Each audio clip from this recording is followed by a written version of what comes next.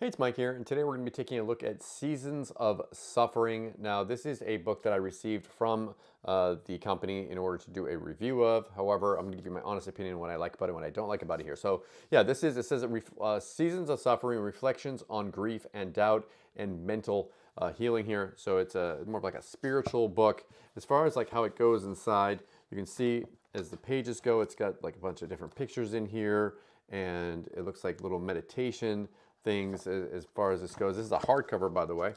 Uh, it's got all these little things here, like redemption story. I feel the wild joy again. I feel that you are good and kind. I feel that you are trustworthy.